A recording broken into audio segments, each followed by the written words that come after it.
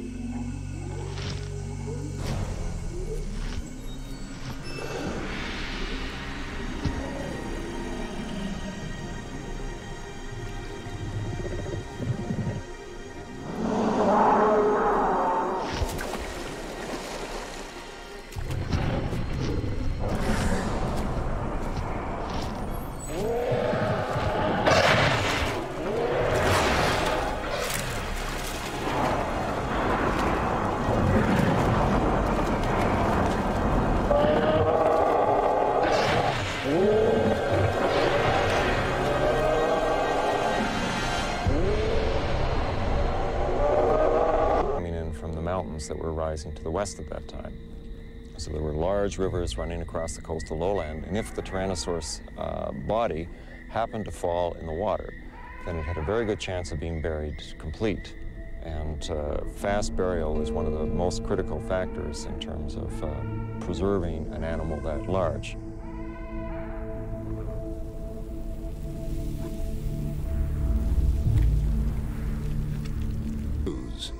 The mysteries of this ferocious but elusive beast.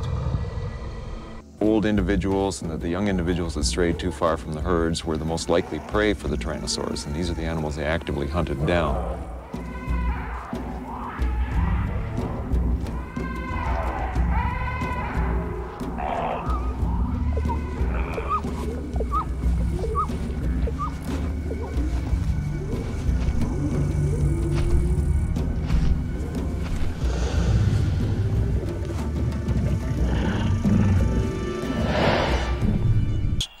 Fearsome of nature's creations. But how did such a ferocious giant come into being? The body plan road-tested in Eoraptor became an evolutionary bestseller. Even today's birds, themselves thought to be modified dinosaurs, owe much of their design to these long-tailed ancestors. Predators of its time, it used its jaws rather than its front limbs for killing its victims. That adaptation would set the stage for the rise of T-Rex and its unique appearance. The earliest of the Tyrannosaur family is called Alectrosaurus. It is a long, slender animal with relatively long front limbs.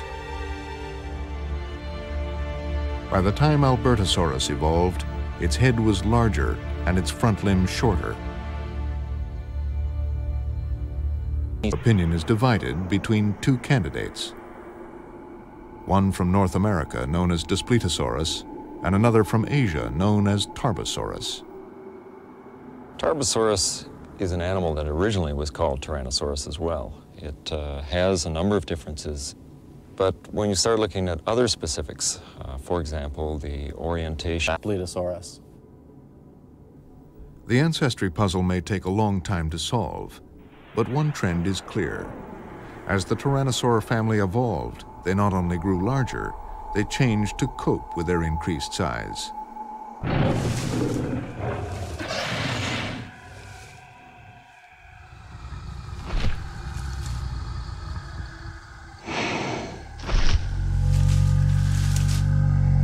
Ever since the first skeleton of T-Rex was assembled 80 years ago, most people have assumed that the king of dinosaurs must have been a slow and lumbering beast. But that view is changing. This is a feature that is good for walking. Jog for a human being.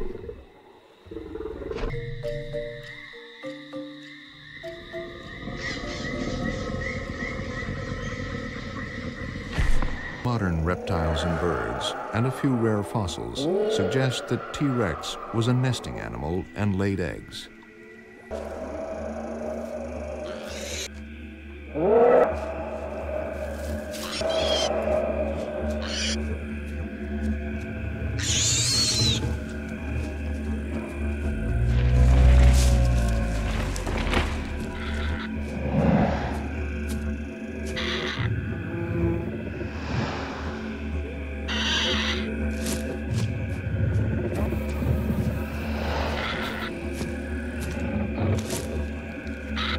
Dinosaurs were ruled by Tyrannosaurus rex, a hunter fast enough, big enough, powerful enough to catch and consume any prey.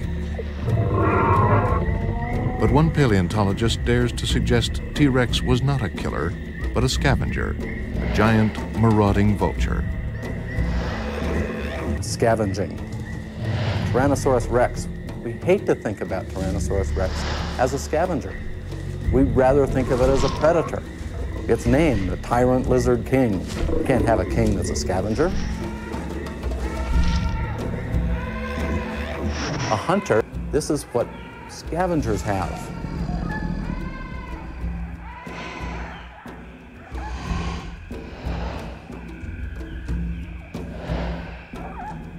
Those animals better and to hunt them down.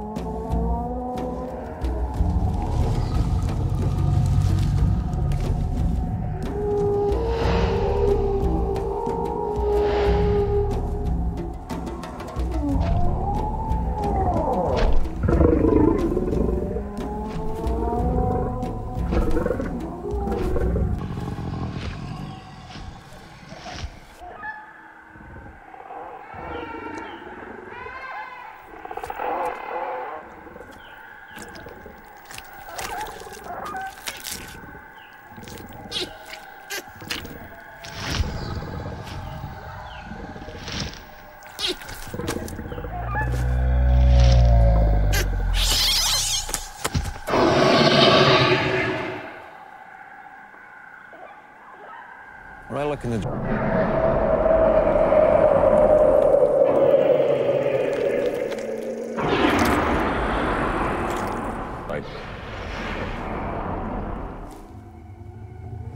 can Tyrannosaurus basically had a mouth full of steak knives.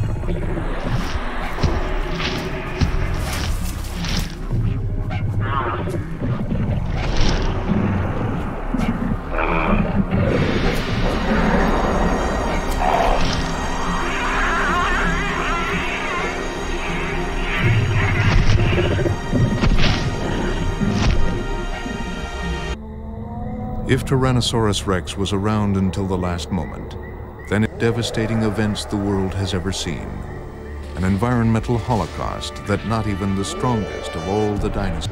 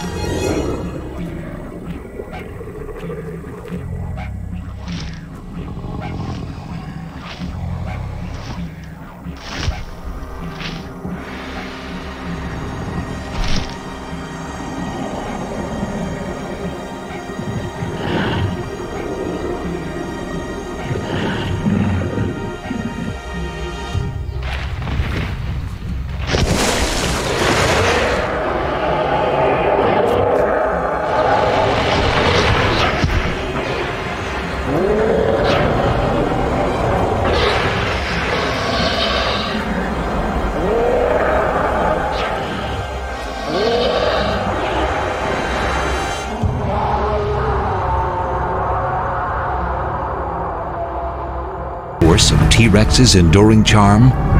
Seven tons of carnivorous fury.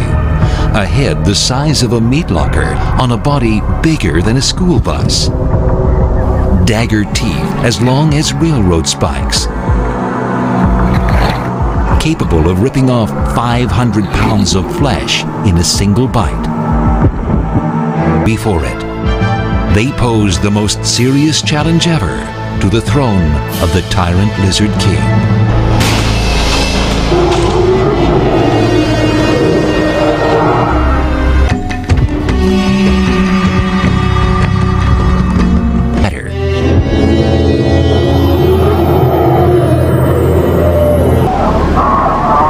T-Rex's challengers lived in the lush environment of South America nearly 100 million years ago.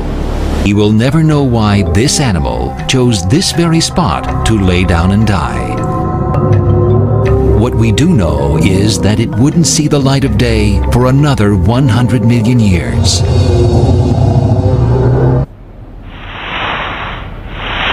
But could either one of the new monsters truly lay claim to T-Rex's title as king of the meat-eating dinosaurs? And which one would it be? In this case, a plant-eating dinosaur that was stuck out here in a bog. And so this bipedal carnivore looks out there, ah, here's supper, and he gets stuck in this bog. We're seeing in Giganotosaurus is a mechanism for the animal to come in, basically take a big gouge out of the side of the prey by slicing with its teeth into the side of the flesh, avoiding the bone, and then moving back as fast as it can so that it avoids getting hit or turned on uh, by the animal that it's going after, and then basically waiting to see the effects and then coming in again and again until its prey weakens and falls.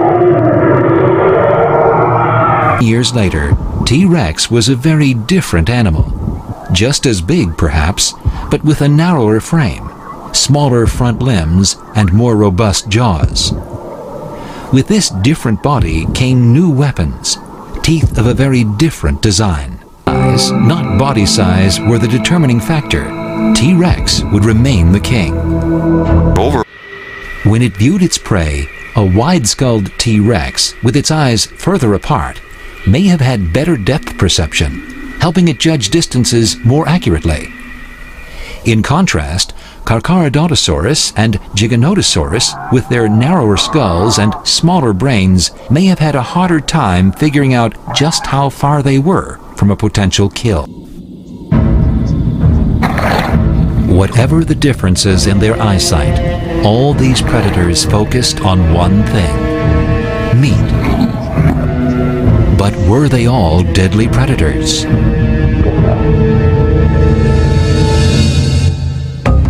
Giganotosaurus and Carcharodontosaurus, two huge meat-eating dinosaurs from the south. But does big also mean slow? One clue would be whether the meat-eaters were warm-blooded, allowing them longer periods of activity. Although the full lifespan of a Giganotosaurus could have been as long as 50 years, it may often have been cut short by its violent lifestyle.